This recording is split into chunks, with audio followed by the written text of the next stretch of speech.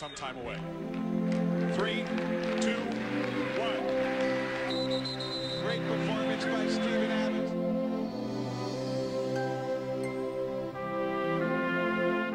So, what first inspired you to start wrestling? Um, I had older brothers that uh, used to beat me up all the time, and eventually they started showing me wrestling moves, and kind of went from there. Started when I was about seven years old. Tell us about your high school career as a wrestler and your accomplishments in high school. Uh, I went to uh, Canyon Springs High School as a freshman. Um, I placed fourth in the state meet. Um, my next year, my sophomore year, I ended up winning the state meet at 112 pounds. Um, my junior year, I moved to uh, James Logan High School in the Bay Area. And I won my second state title my junior year at 112 pounds. And in my senior year, I moved up to 119 pounds. I won uh, the state meet as well. Was undefeated my last two years of high school. What was the workout schedule like in college, and how, how much of a difference was it from high school? Um, uh, well, we would have uh, running, uh, running in the mornings. Usually, we'd get on the track, some kind of sprints or half miles and things like that. Um, and uh, then the practice would be from three to about 4:30. We didn't have really long practices, but uh, but they were intense. And that's the biggest difference that I've noticed between high school and college is the intensity and how much it turns up once you get to college. What weight did you wrestle wrestle throughout college? I was at 125 pounds um, at Fresno State,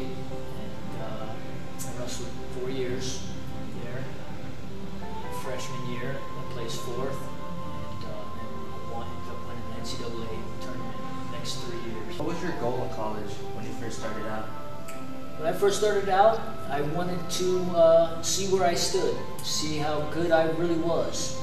And uh, when I was able to compete on the national level and, and against those, those All-Americans from past years, um, I, I was able to test myself and, really find uh, my strengths and my weaknesses. Um, I, I think I did uh, pretty well my freshman year. I uh, was actually ranked number two going into the tournament, and I ended up placing fourth. Describe the whole NCAA championship experience. The NCAA tournament has got to be the most exciting tournament um, that I've ever wrestled in. Um, obviously, I wrestled in the Olympics and won a silver medal, um, but the energy that you feel when you wrestle in the NCAA tournament, the, the arena is just filled with electricity, and there's nothing like winning it there front of the American fans that, that, that love you. They want to see the good techniques, and, and uh, it was an amazing experience. I, I, I wish anybody could could feel that what I felt just being in the tournament alone. What, like, what was going through your mind when you decided to try out for the Olympic team?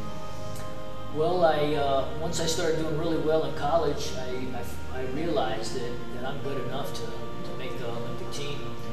So I really started focusing then on, on wrestling those good guys, traveling out to Colorado Springs, and training at the Olympic Training Center, and just really making that kind of commitment where I was setting my goal high and making that Olympic team, and uh, it paid off. What does it take to be an Olympian? And what do you need to compete on like an, a world level?